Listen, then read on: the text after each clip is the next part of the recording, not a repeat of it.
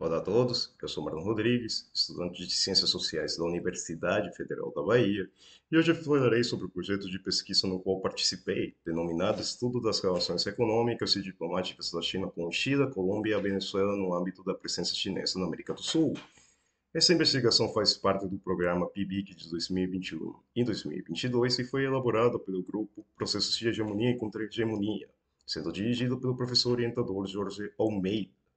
Durante o período de um ano, eu fui responsável de realizar um estudo comparativo das relações econômicas e diplomáticas da China com a Venezuela, buscando analisar, por mais redundante que soe, as relações econômicas, bilaterais, científicas, culturais e militares estabelecidas por esses países entre o período de 2007 até 2022, ou seja, 15, esses últimos 15 anos.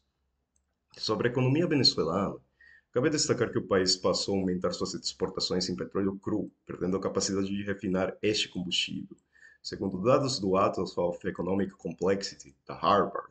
desde 1995, cerca de 66,5% das exportações venezuelanas foram compostas por petróleo, sendo 33,3% petróleo cru e 30,10% petróleo refinado sendo serviços, agricultura e minaria outros grandes expoentes das exportações venezuelanas. Bom, utilizando essa mesma fonte, no ano de 2020, o petróleo cru representou cerca de 63,5% das exportações venezuelanas nesse mesmo ano. Sobre as relações econômicas estabelecidas entre esses dois países, durante o período houve fusões e aquisições de,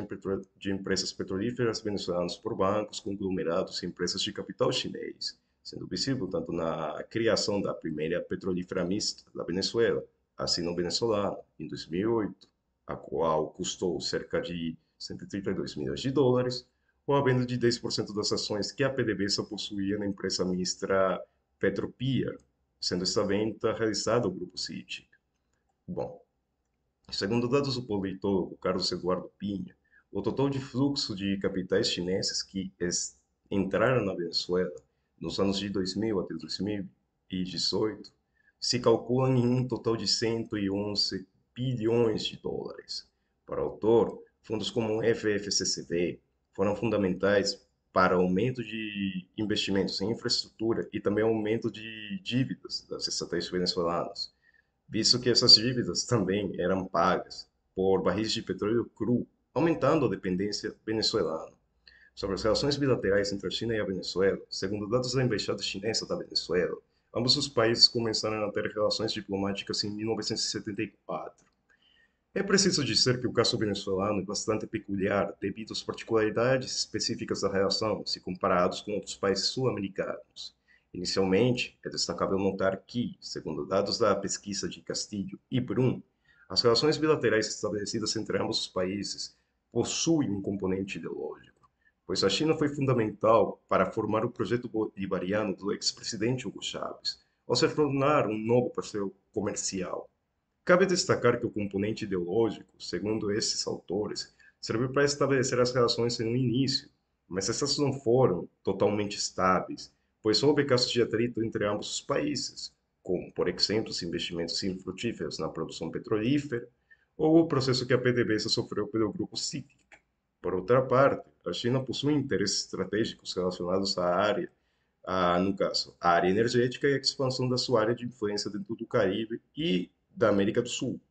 A Venezuela possui uma relação relativamente privilegiada dentro do subcontinente, pois além de ser um dos maiores destinatários dos investimentos chineses, a China desenvolveu dentro do país projetos de cunho imobiliário, industrial e científico.